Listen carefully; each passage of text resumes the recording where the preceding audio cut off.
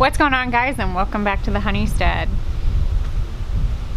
We have got a little bit of work to do today and since it's going to be another really hot day I figured this is a perfect opportunity to take advantage of the sun and help render down some of our beeswax that are on some of our honey supers that I'm going to be adding back to the girls very soon so that they stay busy and start building up.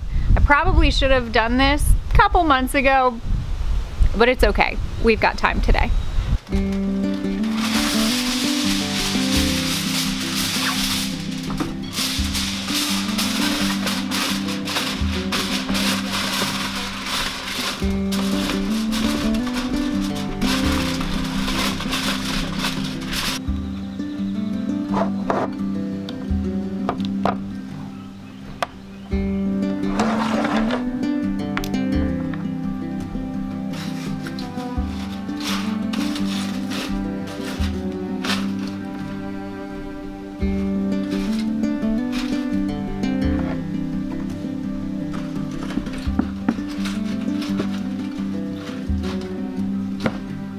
My mom and I went and grabbed some of the frames that we have been keeping in storage and we are gonna go ahead and scrape all the wax off of it so we can get it ready for them because they're going to need something to do when it comes time to working and keeping them busy and that's what bees do and we like to do this after a couple of years so that it helps keep the comb all nice and clean and fresh and some of these are quite old. So figured let's go ahead and uh, attempt to render it down. And we're gonna try a new MacGyver-like way of rendering beeswax down because, well, that's what we just do. We tend to MacGyver quite a bit, so come. You gotta be creative. You that's... have to be creative.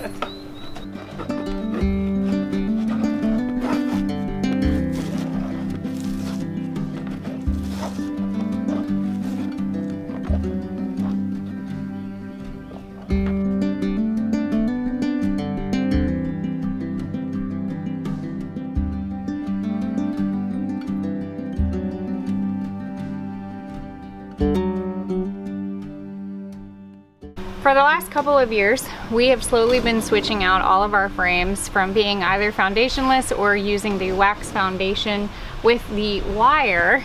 And I've been holding on to some of our very dark, dark frames. These are probably one of our original frames. That might be a magnolia. That might, this might have been. This might have been one of the, one of the magnolias. I'm starting to scrape off all of the propolis that is gathered on the sides and this is our jar of propolis so far. We are due to set up another tincture so this might be on another video later on but I'm just showing you that we are saving it. Now my good friend Alex from Blue Ridge Glassworks I share quite often on Instagram some of her stained glass pieces which are absolutely phenomenal. Um, she has done many stained glass pieces for us that have been very much bee and garden and herbal inspired and I will show you the one that I surprised my mama with mm -hmm. back when we got the apothecary.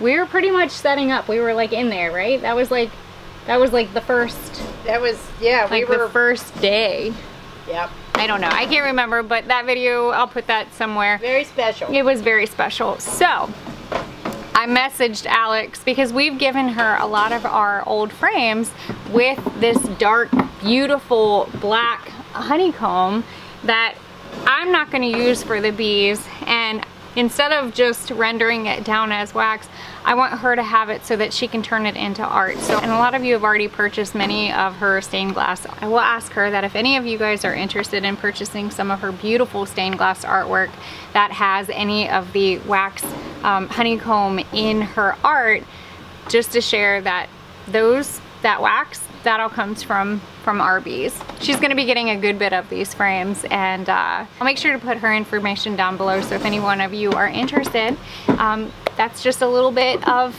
of our hearts here on the Honeystead and uh, what better way to be able to reuse something that is such a beautiful structure and turn it into art.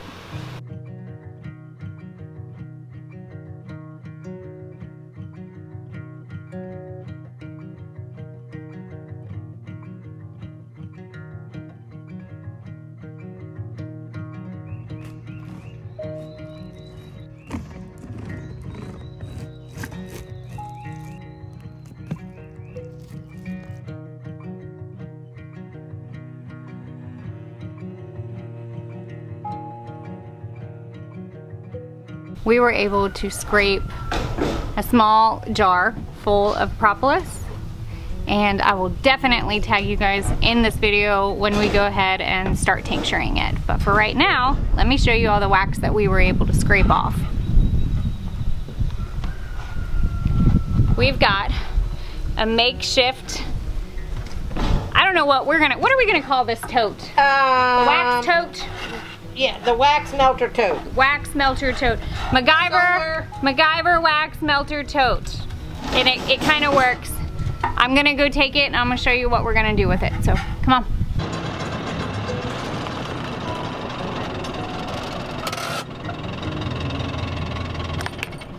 Don't tell my husband that I'm using the wood kiln, the solar kiln to render down beeswax, but it's genius.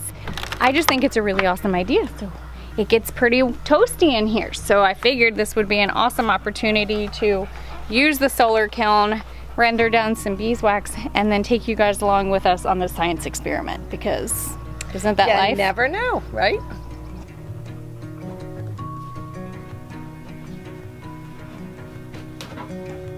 So it definitely gets a little bit toasty in here. And so I went ahead and set up the makeshift MacGyver tote with the wax all in here and then it's gonna take probably a couple of days and I'll come back and I want to keep checking on this. This solar kiln that we use is specifically for our wood, um, for kiln drying some of the wood, but I think it will work. So what I did is I took a tote that we had laying around, I cut a hole in it. Actually, I attempted to cut a hole in it and realized that my X-Acto knife was not doing very well, so I took my little torch and I burnt a big hole in it. I have some unbleached cheesecloth that I did double layers um, and then I did some aluminum foil on the bottom. Now I'm thinking the aluminum foil is gonna be really good because it's gonna help uh, when it comes to taking that wax that's been rendered down out of it.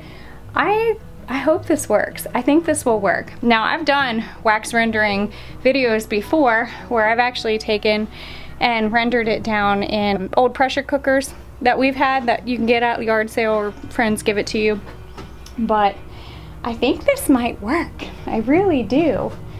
I wish, I wish there was a way, and it's gonna take a little while, but yeah, what I might do is come back and put some aluminum foil on top, possibly. That might help. So yeah, so I'll let you guys know. This might be fun. We'll keep you guys posted and let you know how this turns out. It might take a couple of days, but um, I think it's a good idea. So why not give it a shot?